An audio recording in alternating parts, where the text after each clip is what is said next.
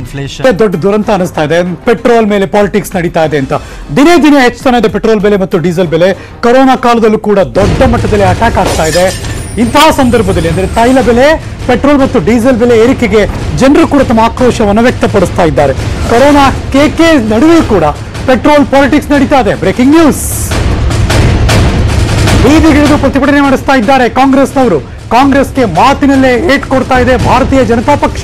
ಅಂದ್ರೆ ಅರ್ಥ ಇಲ್ಲೂ ರಾಜಕಾರಣ ಬಂತು ಅಂತ ಬ್ರೇಕಿಂಗ್ ನ್ಯೂಸ್.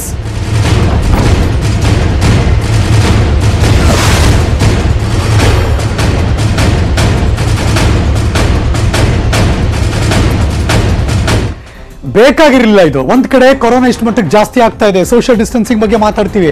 ಆದ್ರೆ ಇಲ್ಲಿ ಎಲ್ಲವೂ ಕೂಡ ಮಂಗಮಯ ಆಗಿತ್ತು. ಯಾರು ಪಾಠ ಮಾಡಬೇಕು ಅದ್ರ ಬಗ್ಗೆ, ಯಾರು ಇನ್ನೊಬ್ರಿಗೆ ಹೇಳಬೇಕು, ಅವರೇ ಈ ತರ ಮಾಡ್ಕೋತಿದ್ರು.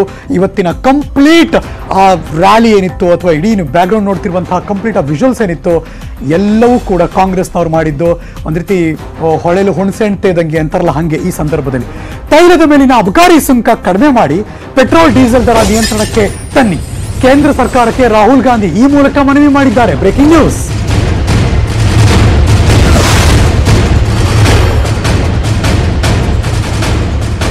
एक बार नहीं 22 बार सरकार ने पेट्रोल और डीजल के दाम बढ़ाए मतलब 22 बार सरकार ने आपको सीधी चोट मारी कमजोर लोगों को गरीब लोगों को सीधी चोट मारी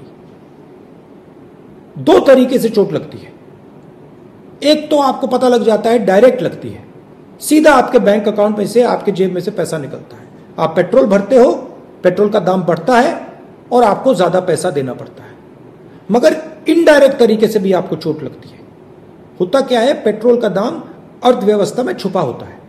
तो जैसे ही पेट्रोल डीजल का दाम बढ़ता है, सारा का सारा माल जो भी आप खरीदते हो, वो महँगा हो जाता है।